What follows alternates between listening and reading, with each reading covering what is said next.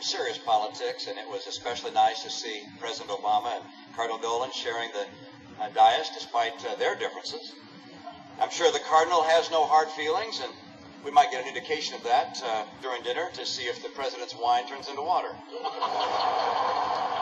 or for that matter, whether my water turns into wine.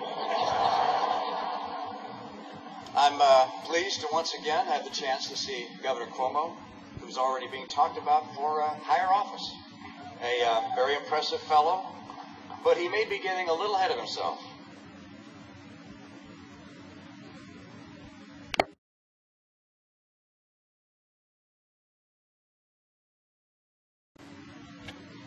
Voters in states like Ohio, Virginia, and Florida will decide